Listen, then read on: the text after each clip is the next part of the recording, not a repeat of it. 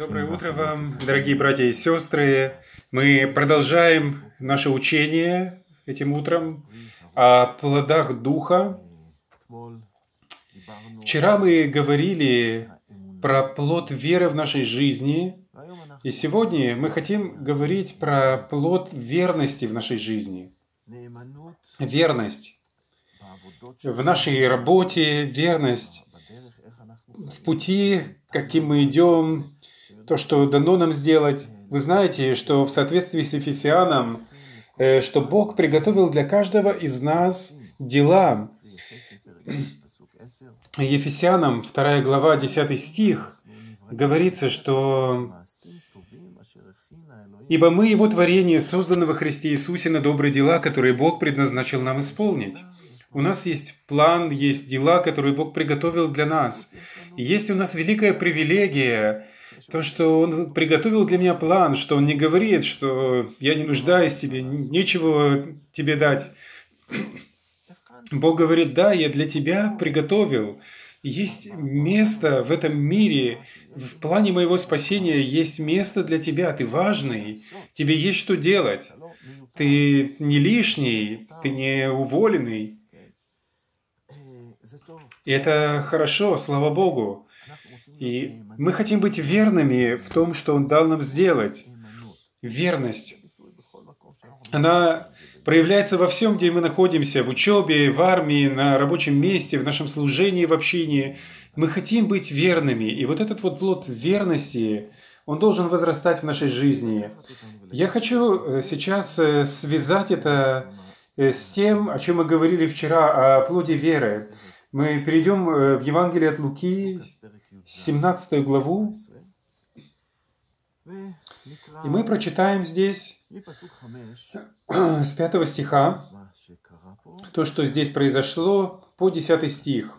Луки, 17 глава, с 5 стиха по 10. «И сказали апостолы Господу, умножь в нас веру». Просьба у них, добавь нам веру. Господь сказал, если бы вы имели веру с зер... зерно горчичное и сказали смоковнице этой, исторгнись и пересадись в море, то она послушалась бы вас. То есть он говорит, небольшая вера, она может позволить переставить вот это вот э, дерево в другое место. В другом месте говорится про гору. То есть вера, откуда приходит эта вера? Она приходит от Господа. Это если бы мы могли делать то, что мы могли с помощью нашей веры, то мы бы, наверное, изменили всю географию вокруг, потому что один бы сказал, я хочу, чтобы эта гора была здесь, а другой сказал бы, я хочу, чтобы она была там, и был бы полный беспорядок. Так что хорошо, что у нас нет таких способностей. Но когда Бог дает нам эту веру, эту специфическую веру, мы можем передвигать горы наших проблем. Давайте мы посмотрим, что говорится дальше и как это соединяется. После того, как Иисус сказал вот это предложение о э, зерне веры, Он продолжает и говорит. И Он больше объясняет. Кто из вас, имея раба пашущего или пасущего, по возвращении его с поля скажет ему, «Пойди скорее, садись за стол»? Напротив, не скажет ли ему, «Приготовь мне поужинать, и, припоясавшись, служи мне, пока буду есть и пить, а потом ешь и пей сам»? Станет ли он благодарить раба сего за то, что он исполнил приказание? Не думаю. Так и вы, когда исполните все повеленное вам, говорите, мы рабы ничего не стоящие, потому что сделали, что должны были сделать.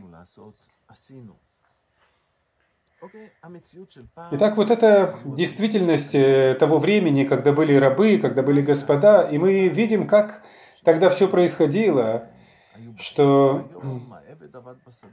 э, когда каждый из них находился на улице, и раб, он работал э, в поле, потом он приходил, и господин его, он служил ему, ему даже спасибо не говорили. Это считалось само собой разумеющееся. Так было тогда. Сегодня это кажется некрасиво, не, невоспитанно, не гуманистично, но так было тогда. И Иисус берет вот этот вот пример и говорит нам, также и вы.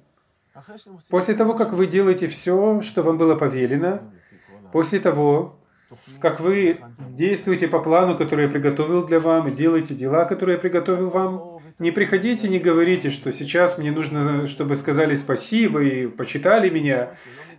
Приходите с подходом, ничего я не достоин. Я сделал только то, что э, мне дано было. Иисус купил нас э, кровью, Он пожертвовал своей славою, Он оставил свое место на небесах, чтобы умереть на кресте за меня. Он все сделал для меня. И сейчас я буду ожидать э, что-то только из-за того, что я исполняю вот свою должность. Спасибо Тебе, Господи, что у меня есть привилегия служить Тебе, что я могу быть близок к Тебе, что я могу омывать Твои ноги. Спасибо Тебе.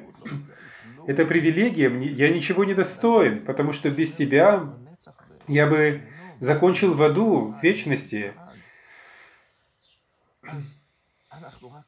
Мы только делаем то, что должны сделать. И вот этот вот подход служителя, и все, что мы делаем, мы хотим делать для славы Божьей.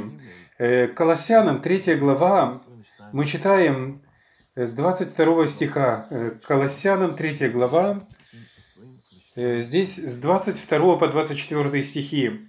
«Рабы, во всем повинуйтесь господам вашим по плоти, не в глазах только служа им, как человекоугодники, но в простоте сердца, боясь Бога. И так мы призваны действовать в отношениях с людьми, с которыми мы работаем, на месте работы, в армии. И так мы должны относиться к Господу.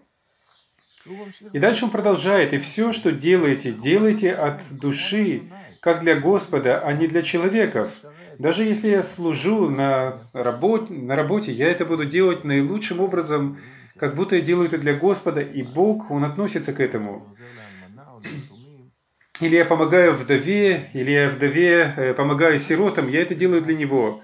И он продолжает, зная, что воздаяние от Господа получите наследие, ибо вы служите Господу Христу.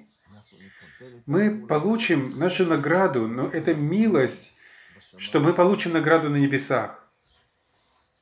Братья и сестры, это плод, который должен возрастать в нашей жизни.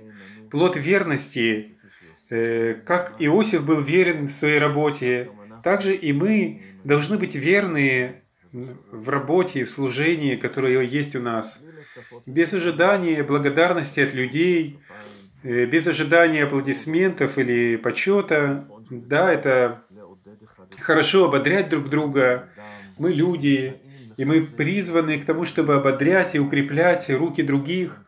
Это хорошо укреплять все мы люди, и все мы нуждаемся вот в такой поддержке, но мы не ожидаем этого. Мы служим Господу, и получаем ли мы поддержку, или мы не получаем.